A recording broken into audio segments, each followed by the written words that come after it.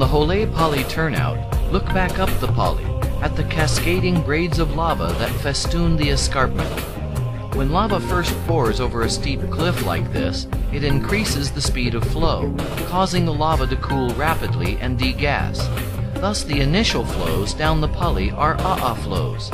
As the flow feeder tube system builds toward and over the cliff, fresher lava insulated in the tube longer partially buries these initial a'a flows in less viscous pahoehoe.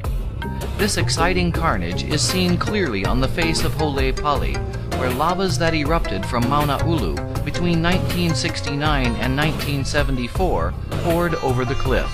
Look at the emerald green patches of forest within the intertwined flows.